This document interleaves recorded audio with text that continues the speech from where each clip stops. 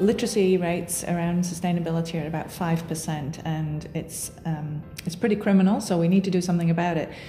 So, the first thing is to be asking teachers to be teaching more about this topic. It is today typically only in the geography curriculum, so we need to uh, encourage the kids to be asking the teachers. The resources are there for teachers to add it into the curriculum. The school boards need to be encouraged to add it into the curriculum, and one of the difficulties is that it is interdisciplinary and the thinking that we need to, to change the way we think, and it should be in every course, not just in one small piece of a geography curriculum. So um, so that's the first thing. But there's lots of stuff out there where people can go and look at uh, online. Um, I would point you to the Resources for Rethinking database, which is uh, run by Learning for a Sustainable Future. Lots of great curriculum in there for people to look at.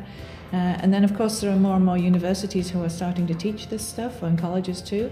Um, really encourage them to start thinking about how they can build it into more courses and asking the, the uh, educational institutions for it as well.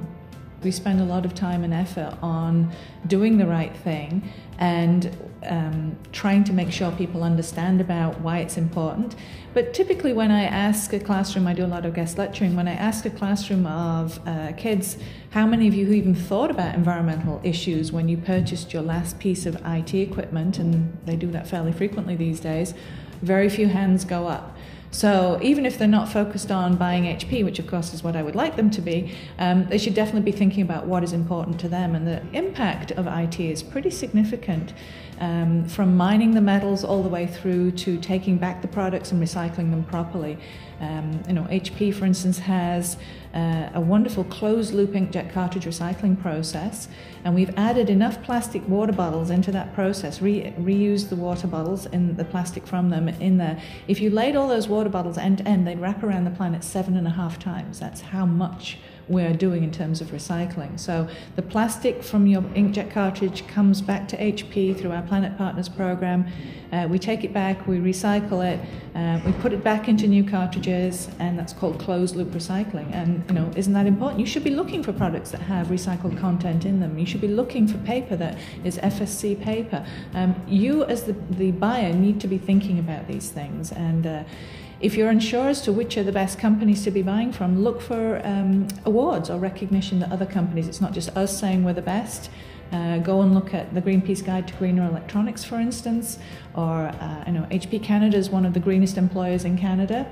Um, go and check out some of those awards and lists to see what kind of company you want to do business with. I'd say because we really do take this stuff seriously. Um, from, as I said, mining metals uh, in the Congo, in the DRC. Uh, we've actually just disclosed last year where all the smelters are that make the metals that go into the components that go into the products that we make. We've actually publicly disclosed where all those, uh, smelters are. And given that we have thousands of suppliers and a $60 billion supply chain, that's a very big deal. We took the time and the effort to do that, not only to characterize our, to know where the, the factories are, but also to characterize the footprint of the supply chain that we have. Um, and so we know that 36% of our total impact globally is in our supply chain, and we've been working for many years to reduce that footprint. We've now set goals to reduce that. None of our competitors have done that. Sure, anybody can go and pick up garbage or do a shoreline cleanup, and that's a great thing to do from a team building perspective. But really, um, that doesn't have that much value. We have a very highly skilled workforce, and we want those workers to be engaging their skills to the maximum benefit when they uh, leverage their four hours a month of paid volunteer time. So we have lots of programs to encourage them to do that, and um, getting them to think carefully about what skills they can use. Uh, when you're in business, you're using a wide range of skills that can help any kind of organization, even a school or a not for profit in general, still needs to have some basic business skills, whether it's accounting or uh, managing their IT properly. So we try to push our employees into to leveraging that four hours a month and give them opportunities that will be skills based uh, volunteering.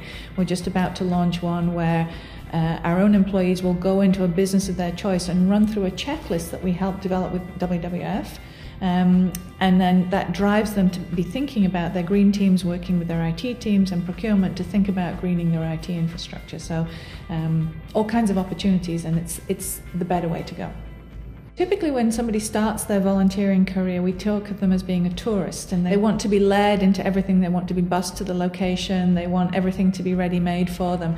And you want to, to um, teach them how to then eventually lead volunteer events themselves. That's what you want. You want them to step up.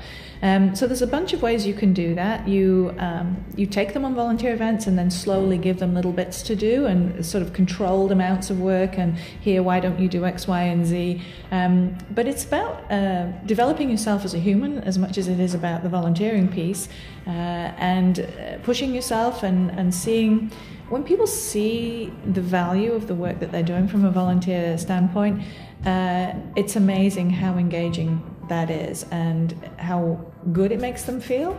And you know, we often say the best part of volunteering is is, is the, the feelings you get, the, the, the self satisfaction you get. It's not necessarily about the time you take or whatever. It's it's um, it's that good feeling that you get, and you want more of it. It's addictive. One of the things we really want to encourage is entrepreneurship. It's a way for people around the world to get themselves out of the poverty trap. Um, so HP is engaged in a couple of things. One is um, last week, every HP employee received a $25 loan to give through the Kiva lend, uh, micro lending platform, which has been a huge employee engagement piece for us and had absolutely fantastic uh, take up. We've already um, loaned over a million dollars through each $25 uh, loan from an employee around the world, so that's great. Um, but the other thing is, we've been thinking long and hard about how to make the education materials that entrepreneurs around the world need available to them wherever they happen to be. So um, we actually have developed a program called HP Life, L I F E, stands for Learning Initiative for Entrepreneurs. This is a free program that we know works. We've, we put a lot of time and effort into building this. It's very interactive training, um, kind of state of the art in terms of how online learning happens. And there are courses in there uh, that spread the from basic finance and accounting all the way through to um, social media marketing. And we just added one on finding energy wastage in a business, so that's the first environmental course in there.